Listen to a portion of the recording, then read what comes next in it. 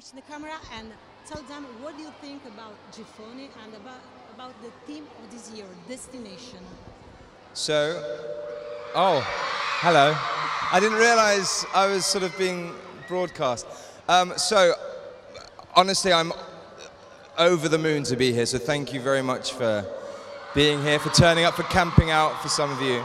Um, this is an amazing festival, amazing platform for you guys to really gain more of an understanding about how films are made uh, and uh, to celebrate film as much as you know, we, we, we love making films and we're glad that you enjoy watching them. So please enjoy um, and make sure you make the most of it. I don't know, is that good? Or... About the team Destination. What do you think when I say Destination? Destination for me is always the end of a road. But with every end of a journey, there's always a new journey to be had. So this is the end of my destination at the moment, um, but you know, this is also the beginning of a, hopefully a very, very sort of long career. Um, so uh, yeah, yeah. Thank you very much. We wish you all the best. Oh, Thank you very much.